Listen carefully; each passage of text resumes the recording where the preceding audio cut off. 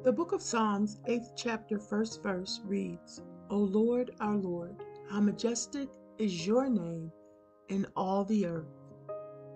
You have set your glory above the heavens.